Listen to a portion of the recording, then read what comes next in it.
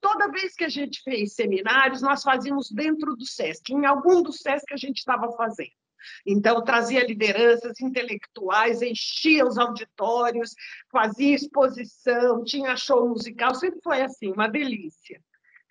E muitas publicações a gente tem sobre isso. Agora, grande parceria com o, CERT, com o SESC se deu no Prêmio Educar para a Igualdade Racial, que começou em 2002 e foi até 2014. Todos os anos o SESC foi o primeiro parceiro. E nós coletamos 3 mil boas práticas pedagógicas e de gestão nesses anos.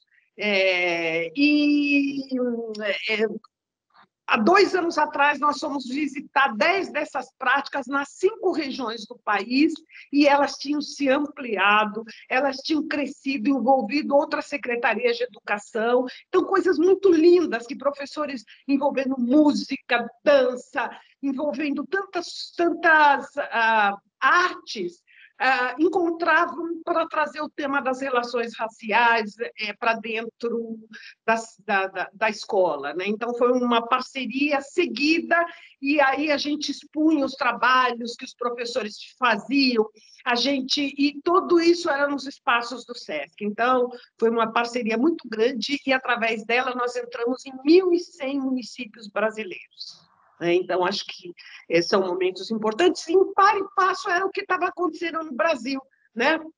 É, porque depois nós tivemos a marcha de 1995, a marcha é, pela vida, né?